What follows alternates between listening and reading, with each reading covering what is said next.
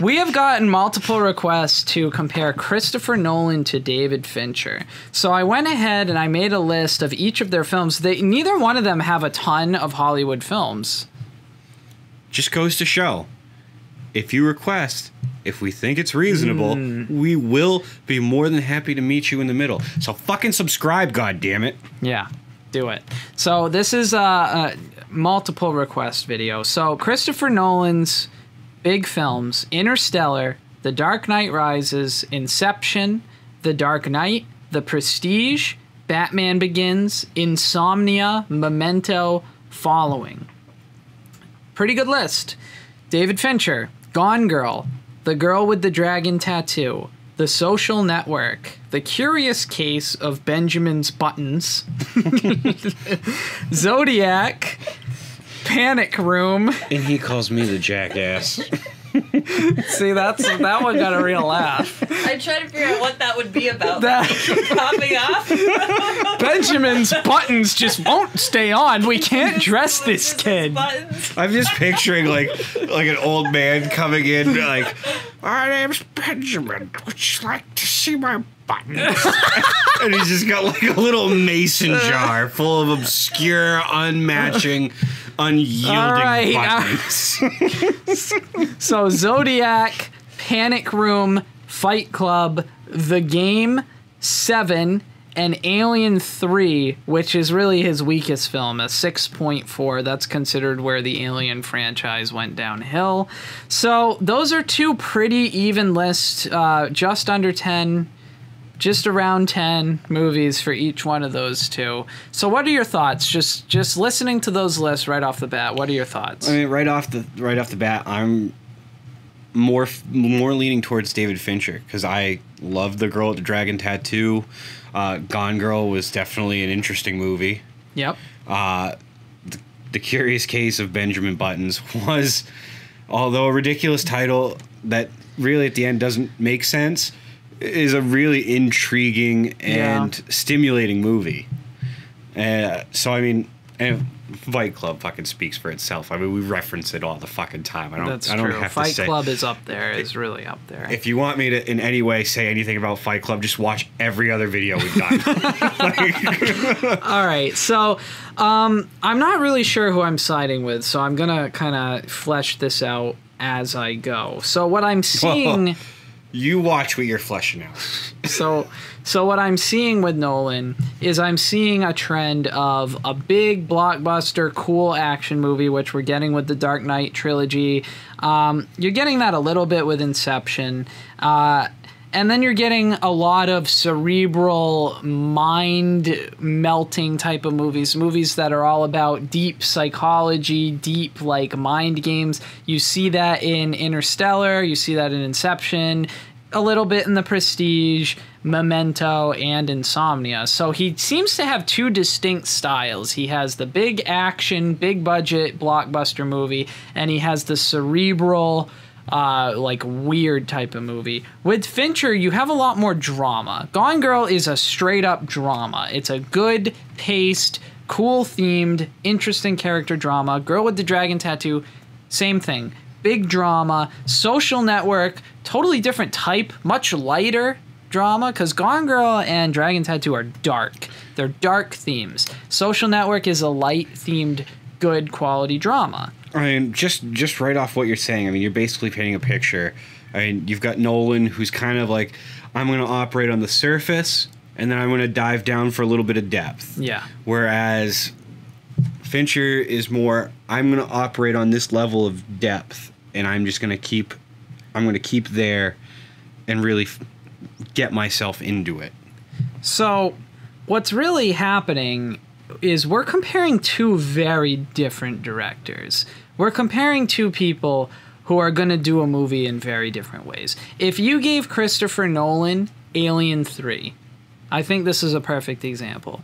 I think Christopher Nolan would do a great job with Alien 3 because he's that type of director. He takes a big action, very cool concept and fleshes it out, makes it really interesting, makes it very cool. We saw that with The Dark Knight, The Prestige, Interstellar. Interstellar is a great example. Interstellar is a realistic sci fi space movie. Throw in some goddamn aliens. He can pull it off. Just throw some aliens in with Matthew McConaughey. All have- right, all right, have- all right. You don't even have to throw them in. Throw them in. Just let them burst out of a stomach or two. I Yeah. mean, come on. But I think Christopher Nolan actually would have You been a better you know, pick for On Alien a side 3. note, Pepto Bismol sol- solves nausea, heartburn, indigestion, upset stomach, and diarrhea. I wonder if it can solve alien pregnancy.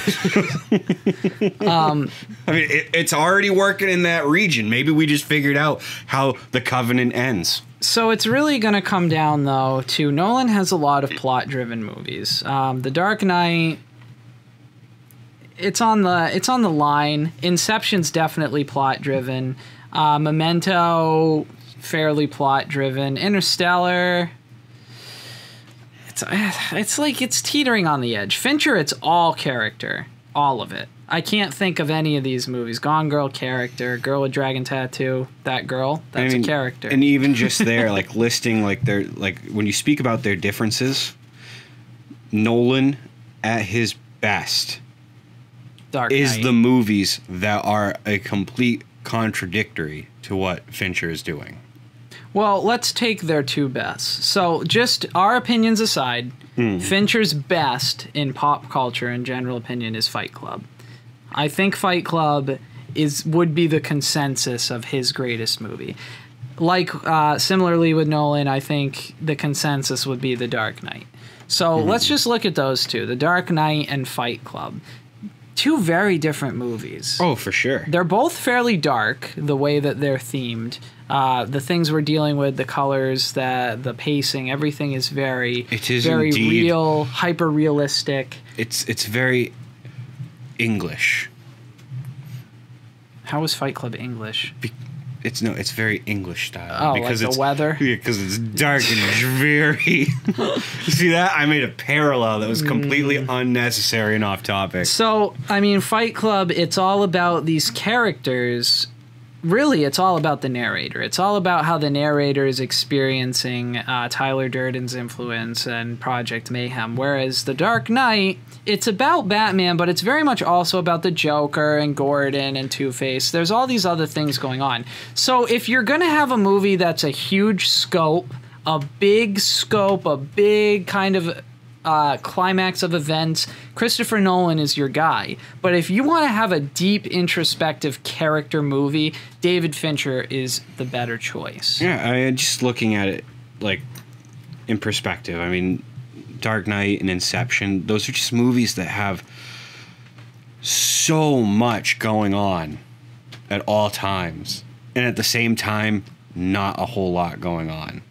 I I mean, there's so much significance put in the visual aspect as much as the character and the the development of the story. Whereas like Fincher really dives into a, a cerebral aspect that takes us into the places of the human mind that makes everyone curious. Well, the cerebral part that you're talking about, the the cerebral part in Fight Club, in Zodiac, uh, maybe even in Gone Girl a little bit. It's much more realistic. It's much more within the character. E- with Nolan, the cerebral parts, like the Prestige, it's all about deception. And then even in Memento, it's really the plot and how people are taking advantage of this guy's condition and Inception, it's all the world. It's all this new concept and teaching you about how these dreams work. Fincher's cerebral movies compared to Nolan's, his are truly cerebral. Nolan's uh, is really a plot that's been made very complicated using elements of that. So if you had to pick, you already pretty much picked Fincher. It's tough for me to say. It's tough for me to say. The Dark Knight is my single favorite film out of the list. And this is a very good list. This list has many of my favorite films. But if I had to pick one single favorite film out of this whole list, The Dark Knight would be my pick. With that being said, oh, I see slightly more consistency with Fincher, but that is a tough comparison. They're just so different. But I think Fincher, if I'm going to pay for a movie, I know it's going to be good from either one. But I feel like Fincher's going to be much more of an experience. Nolan's going to be much more of a movie. Nolan makes movies. Fincher makes experiences. and, and I, oh God, what a douche. I, I'm I truly can't You know- pick one of them though. They're just they're very different. They I, do a different thing. I'm thing. going to pick, and I'm going to pick Fincher. And it's, it really comes down to first and foremost. I mean, the Girl the Dragon Tattoo is probably, definitively, my favorite movie of my adult life. I uh, the the depth and the scope that is involved in that is just so well done. It is an experience in itself, as well as being like an observation. It's just it. I can't. I can't not pick that, and the way he does it. I feel like. You know, when you're looking at them, Nolan gives you the bang where Fincher gives you the buck. He's really giving you that value. Okay, I I can see that argument. So I mean, I can't in good conscience pick one. I can't do it. I can't and I won't. You know what? Can't and I won't. You're fucking weak. I think Dunkirk is gonna follow right. I in think you're just playing on the fact that the viewers like you and you don't want to lose that. No, I honestly can't pick. They're very different, and they both do what they do amazingly. you know what? I'm a man. I take a stance. That's what I do. All right, so who do you guys pick? Do you think that we can truly pick one of these two? Do you agree with Jay, or do you think Nolan is the best? In a side note, if we get a good, uh, well, yes, please subscribe. but you know, the first thing we thought of when we saw this suggested numerous times is why the fuck do these people want this comparison? Because, like we said, they're very different directors, Right, and we, like we, but they're we- consistent. They're both very they, consistent. They are. We did this because you know, though we didn't see what you saw. Well, they're quality people with quality movies. But tell us what you saw. Uh, maybe we can do a follow up to this uh, and address the things that maybe we're not seeing that you are. Do you think we have like a middle school audience? Like, I don't understand your sense of humor. It's everything's a blowjob penis joke. It's like we have like 35% females. You know that, right? What female do you think is like, oh, another dick joke? Fuck yes! Like, like, subscribe. How fucking awesome would that be? Even that much. It's pretty good for us. we're pretty um, dick centric.